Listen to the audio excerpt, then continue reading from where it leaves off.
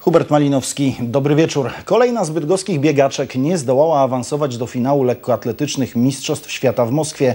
Iga Baumgart, biegnąc na trzeciej zmianie sztafety 4 razy 400 metrów, zrobiła co mogła, ale ostatecznie Polki zajęły dopiero dziewiąte miejsce w łącznej klasyfikacji. Do upragnionego finału zabrakło jednego miejsca.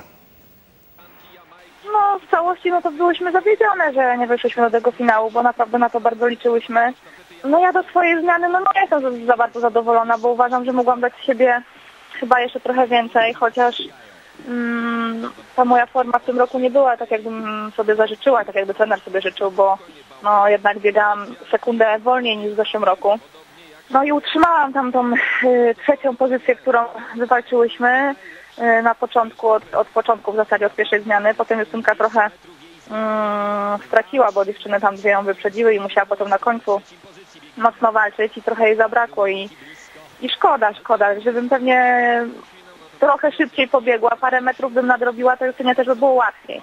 E, jeszcze z trenerem nie rozmawiałyśmy, co ktoś źle zrobił, czy dobrze, więc tak naprawdę nie znam jeszcze szczegółów, sama, sama do siebie mogę mieć jedynie jakieś tam zastrzeżenia, ale no, no za zawód jest dosyć duży, szczerze mówiąc, bo liczyłyśmy na więcej.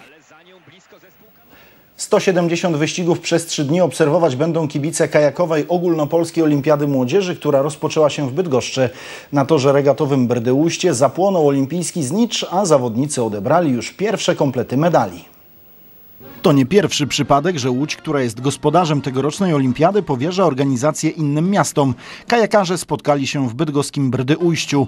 Efektowna ceremonia otwarcia i znicz, którego nie mogło zabraknąć. W jego blasku rywalizacji przyglądał się szef polskich kajaków. No najbardziej nas to cieszy, że tak duża ilość przyjechała tutaj do Bydgoszczy, mimo że ta ilość jest i tak okrojona. Na pewno byłoby więcej zawodniczych zawodników, ale mamy przede wszystkim ograniczenia wynikające z ustaleń ministerialnych. Nie od dziś do rodziny kajakowej należy też prezydent Bydgoszczy Rafał Bruski. No jestem już częścią tej rodziny kajakowej. Dzięki córce jestem praktycznie na wszystkich zawodach, nie tylko Bydgoszczy, ale jeżdżę i po Polsce i niekiedy jak trzeba to po Europie. Miejscowi kibice od początku mieli się z czego cieszyć. Pierwsze finały były bardzo udane dla kajakarzy z Bydgoszczy. W finałowym wyścigu Kanadyjek czwórek całe podium zajęli przedstawiciele Zawiszy, którzy zdobyli złoto i srebro oraz Kopernika, którego osada wywalczyła medal brązowy. Na co dzień trenujemy raczej jedynki i dwójki, tylko teraz akurat tak na Olimpiadę Młodzieży postanowiliśmy wystąpić na czwórce. Pierwszego dnia rozdano 15 kompletów medali w konkurencjach na dystansie 500 metrów. Drugi dzień to rywalizacja na 1000 metrów, a w niedzielę na zakończenie finały na długim dystansie oraz w najbardziej widowiskowej rywalizacji sprinterskiej na 200 metrów. W drugą część rywalizacji wpłynęła już ogólnopolska olimpiada młodzieży w żeglarstwie. W Dobrzyniu nad Wisłą spotkali się najbardziej utalentowani, zawodnicy w klasach Techno 293, Kadet oraz L'Equipe. Dziś na Zalewie Włocławskim wygrała jednak pogoda.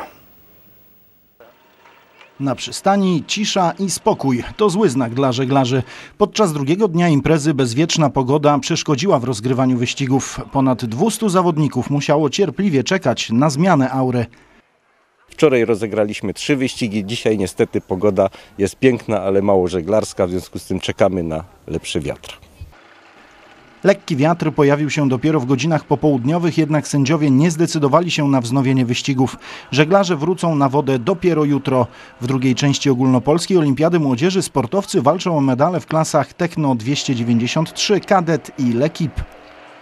Wczoraj na przykład wiało dwa bofa, fa, y, z, z, a w porywach y, do trzech. Czyli tak trochę trzeba było pobalastować.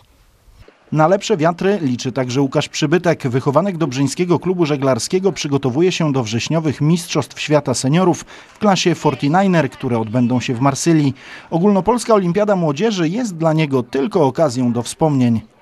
Moje początki kariery e, wyglądały bardzo podobnie co do młodzieży, która właśnie startuje na tych regatach. Bardzo mi się przyjemnie ogląda młodzież, którzy chcą rywalizować, e, chcą żeglować i mam nadzieję, że każdy z nich ma jakiś tam talent. Talent, który należy szlifować. Najlepszym sprawdzianem umiejętności jest właśnie ogólnopolska Olimpiada Młodzieży. Zwycięzców regat poznamy w niedzielę. Przed nami weekend, a to zawsze oznacza wiele sportu. Zapraszam Państwa na nasze serwisy zawsze o 22.10. Do zobaczenia.